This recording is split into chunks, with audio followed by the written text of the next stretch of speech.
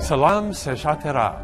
Hello, my name is Craig Allen, and I am proud to be the new United States Ambassador to Brunei Darussalam. With me today is my wife of 22 years, Micheline. Hello.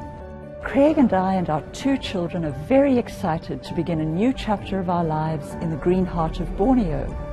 As the personal representative of President Barack Obama, I look forward to building upon the friendship between our two nations that dates back to 1845. The Brunei U.S. relationship is strong.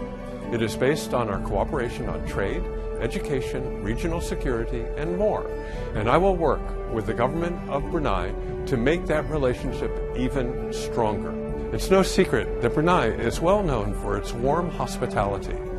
My family and I look forward to experiencing it firsthand while exploring the unique treasures of the Sultanate, such as seeing the beautiful water village, taking part in our first Hari Raya, and trying your famous ambuyat. Terima kasih.